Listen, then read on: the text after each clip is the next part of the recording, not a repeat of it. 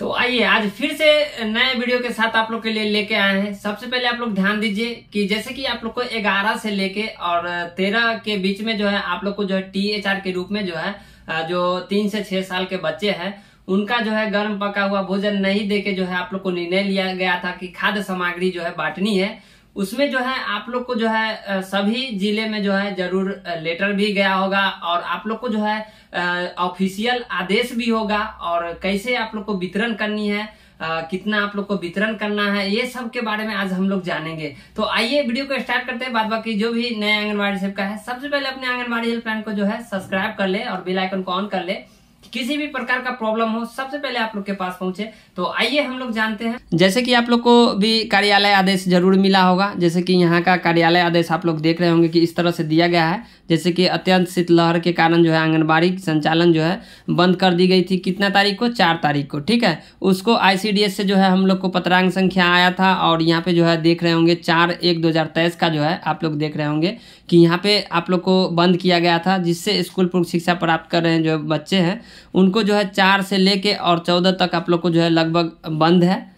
उसके बाद क्या आदेश आती है, आपको इसका न्यूज़ बताएँगे। लेकिन आप लोग को फ़िलहाल में जो है चार से लेकर चौदह तारीख तक का जो है टी एच आप लोग को देनी है। जैसे कि आप लोग को गर्म पका हुआ भोजन खिलाते थे, उसको जो है टी एच के रूप में आप लोग को देन, देनी है।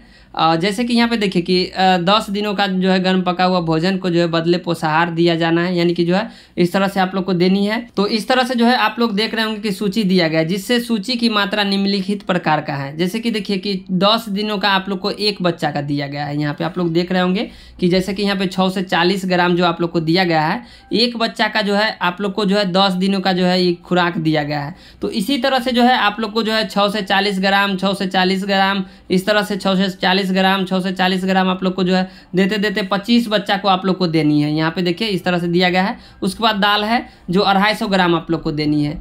एक बच्चा को अढ़ाई सौ ग्राम, फिर मिठा है, एक बच्चा का यानी कि दो सौ ग्राम, अंडा दो पीस एक बच्चा का।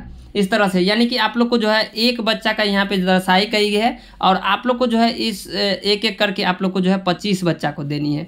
जैसे कि यहाँ पे छः से चालीस ग्राम, अढ़ाई सौ ग्राम, दो सौ ग्राम, यानी कि दो पीस अंडा इस तरह से आप लोग को दिया गया है।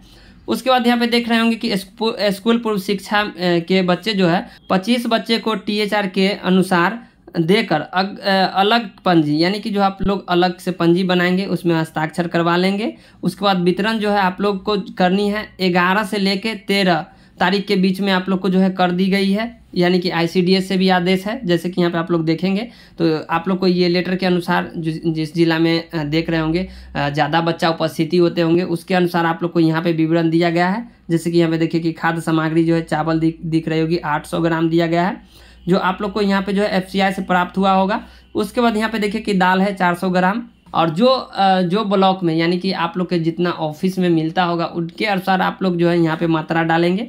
ठीक है? जैसे कि अभी आप लोग ने देखा कि मेरे इधर अभी मात्रा आप लोग को देखने के लिए मिल रहा है कि यहाँ पे इस तरह इसके अनुसार है, यानी कि जो है चावल हम लोग को दिख रही होगी छः से चालीस ग्राम है। और ये आप लोग देख रहे होंगे, आप लोग के ऑफ़िस से आप लोग संपर्क कीजिए कि आप लोग को जो है मात्रा कितना देनी है।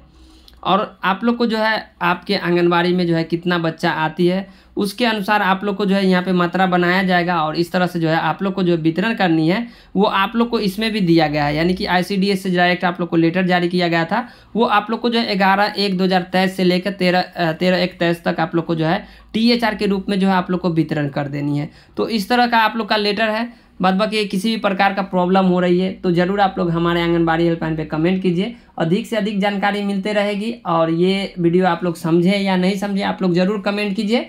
अधिक से अधिक जानकारी आप लोग को इसी तरह से मिलती रहेगी। तो थैंक यू हमारे वीडियो में बने रहने के लिए धन्यवाद। आपका दिन शुभ हो।